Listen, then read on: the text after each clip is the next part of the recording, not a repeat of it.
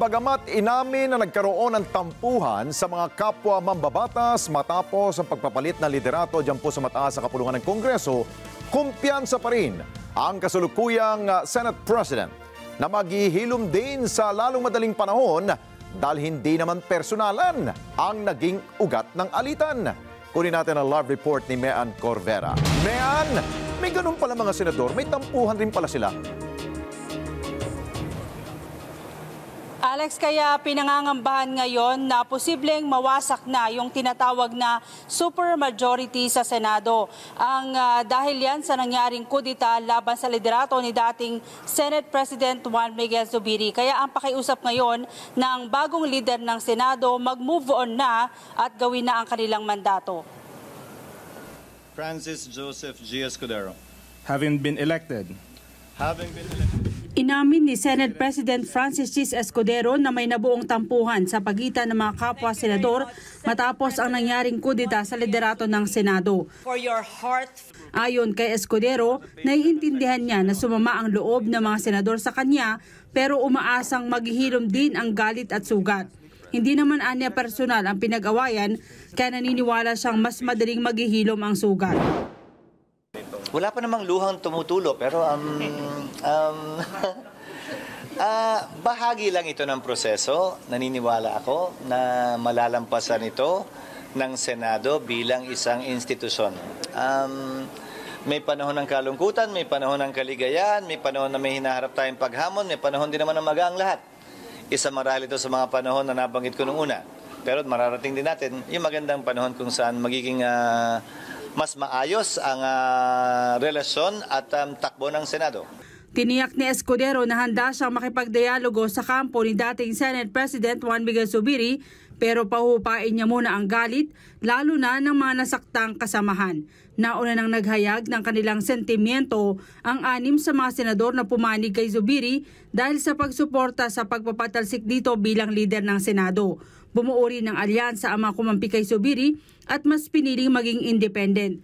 Dahil dyan pinangangambahan ang pagkakawatak-watak ng tinaguriang supermajority sa Senado. Ilan sa kanila kabilang na si Senator Joel Villanueva nagsabing pinag-aaralan na ang pagpanig sa oposisyon sa Senado at tuluyan ng kumala sa majority block.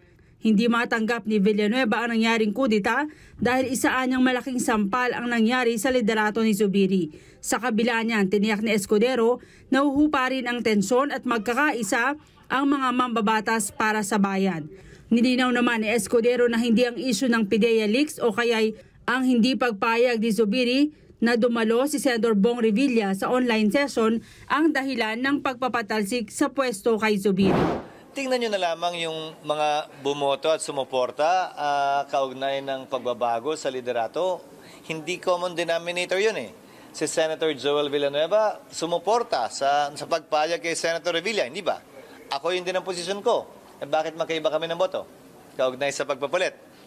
Um, so tingnan nyo na lamang yung listahan ng mga bumoto at sumuporta at yun ang sasagot mismo sa anumang katanungan kung bakit nga ba. Kung magkaiba yun, eh, ibig sabihin hindi yun ang bukod tangi at ah, tanging rason para sa lahat kung bakit naganap yun. Umaasa naman si Escudero na sa kabila ng nangyaring tampuhan, may papasa pa rin ang mga panukalang nasa priority agenda ng Administrasyong Marcos. Kabilang narito ang amyenda sa rice tariffication law.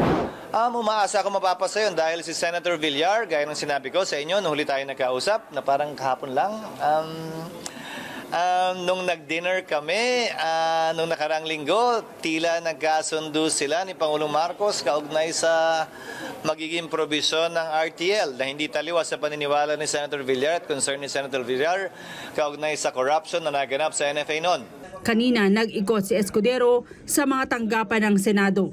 Kabilang sa kanyang binisita ang Legislative Archive and Services at iba pang pasilidad sa Senado. Hindi, hindi tambakan ha? Alex, dahil kasalukuyang nakabakasyon ngayon ang marami sa mga senador, sabi ni Escudero, posibleng bago pa ang sona ng Pangulo sa Hulyo, maganap yung uh, pakikipagdialogo niya sa mga kapwa mamabatas, lalo na dun sa block ni ah, Senador Juan Miguel Zubiri. Alex. Bakit? May, may imbitasyon ba ang panig ni dating uh, Senate President para sila'y mag-usap-usap, uh, Mayan? Ah, wala, walang. Hindi niyo marinig. O, sige, sige. Mara- Escudero, ang hinihintay niya lang yung perfect timing. sige, maraming salamat sa iyo, Mayan Corbera. Mata natin sa Senado. Maraming salamat sa inyo pong pagsubaybay sa Mata ng Agila Primetime. Para malaman ang matatag, matapang at matapat na mga balita, i-follow lamang at mag-subscribe sa AtNet25 TV.